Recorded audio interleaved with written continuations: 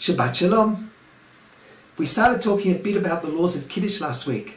Let's continue with that and talk about how big does your Kiddush cup have to be? Well, there are two elements in the size of a Kiddush cup. One is the size of the physical cup itself. The physical cup itself has to have a revi'it. How big is a revi'it?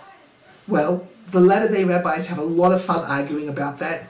They say, I don't know if it's true, that the Kiddush cup of the Chofetz Chaim is now here in Jerusalem by his descendants, but they don't use it because they think it's too small. I don't know if it's true, but we see that there are arguments about the size. My rabbis told me that we hold that a Kiddush cup of Revi'it has to be 86 milliliters. Some people say it should be 150 milliliters, and some people say it can be a little bit smaller. But for sure, a little shot glass, a tiny little cup, is not big enough. And a person needs a cup that holds a nice size amount. Just so you have some idea, an average uh, disposable cup is 180 milliliters. So your cup has to have at least 86 milliliters. Some people say 150. An average wine cup for sure has that. The second element is that the Kiddush cup has to be full. When you make Kiddush on the cup, lechatchila, ideally, you should fill the cup to the top. For Havdalah, we have a wonderful custom to let the wine flow over to indicate that the blessings spill over in our house. For Kiddush, you don't need it to overflow at all, it needs to be full. The major custom that people do is they fill it right to the top so you can see the wine just there over at the top.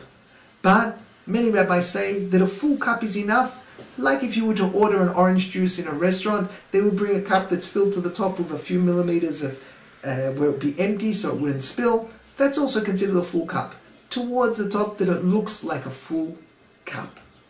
What do you do if you've got your 86 milliliters, your Revi'it, but the cup isn't full yet? In such a case, if you made Kiddush, it would work, but ideally you should fill the cup.